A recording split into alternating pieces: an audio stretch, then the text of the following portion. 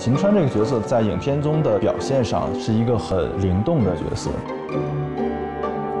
女生的活泼可爱，然后机灵，她全有。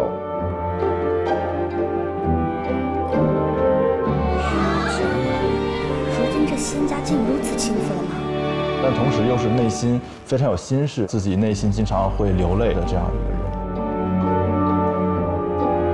他伪装自己很可爱，是因为要保住性命，但是他实际上是有更大的任务在身。忘掉自己的身份，从此这世上再无大理帝女。秦川整个人的人物线就是在复仇跟报仇中。你还有一生一世可以活呀！